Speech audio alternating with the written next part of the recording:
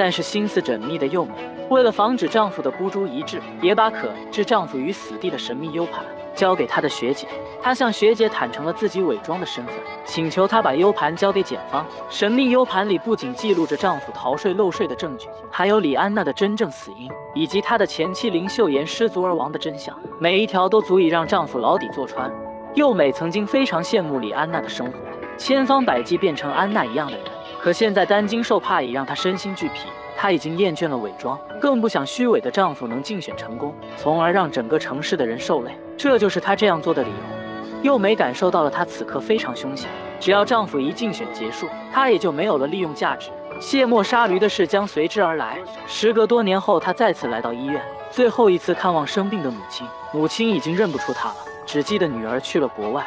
母亲用手语诉说着对女儿的想念，还请求幼美帮她给女儿写信。幼美的心里泛起一阵阵心酸。正是投票前的集会上，这对各怀鬼胎的夫妻在做了一次恩爱秀。丈夫大言不惭地说：“非常感谢他的贤内助。”而幼美也虚伪的微笑配合。正是选举出来前，幼美接到医院的求助电话，母亲已经生命垂危，在她弥留之际，最想见女儿一面。幼美心里五味杂陈。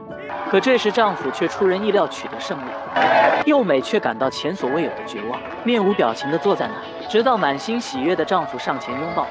面对众人胜利的欢呼，她却感受不到一丝的兴奋。此刻，她最想逃离。而另一边，学姐却打通了检察官的电话，要将重要的资料交给他。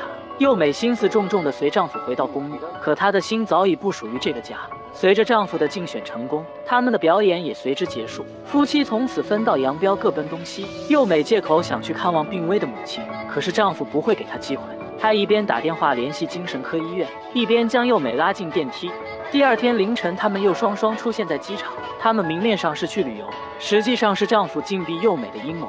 飞机上，幼美从电话中得知母亲已在凌晨去世，幼美瞬间伤心落泪，可丈夫却一脸的不屑。在通往加州的沙漠公路上，幼美收到学姐的短信，她把所有的证据交给了检察官，却不知对方早被丈夫收买。她在那等了十四小时，却一直不放她出来。丈夫此时也说出这次旅游的真正目的，他要把幼美关在沙漠中的精神病院，让她此生就在这自生自灭。但幼美并没有丝毫的恐慌，她在等待逃生的机会。突然，马路上窜出一只小鹿，丈夫猛打方向盘想避开它，而幼美却突然猛地拉住手刹，汽车瞬间不受控制重重地撞上桥墩，车头损毁的惨不忍睹。过了许久，幼美才艰难地从里面爬出，她擦去额头上的血迹，从车里拿回她的包和证件，而丈夫还卡在里面无法动弹。她焦急地举着手机寻找信号，可是她等来的却是让人绝望的消息。他们精心筹划的举报计划完全失败。无奈之下，学姐爬上窗台，准备以极端的方式将政客的罪行公之于众。幼美万念俱灰，无奈地点燃自己的包，无情地丢进车里，不顾里面的丈夫绝望的求救。她已经了无牵挂，只是她不知道她将去向何方。随即，车子发生爆炸，燃起一团火球，她才痛苦地放声大哭。母亲曾经对她说过，她在梦里变成了一只小鹿，站在不远的地方，伤心地守护着女儿。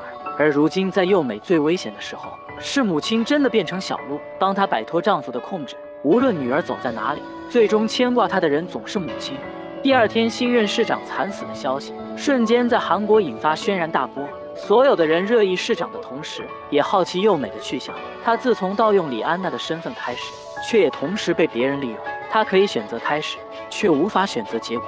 他一直努力地向上爬，想甩开卑微的自己，去过上梦寐以求的生活。可天意难违，他爬进了火坑。在命运的裹挟之下，他只能被动地向前走。如今，他只能在地球的另一端，继续以李安娜的名字，继续靠谎言苟且生活，从终点又回到起点。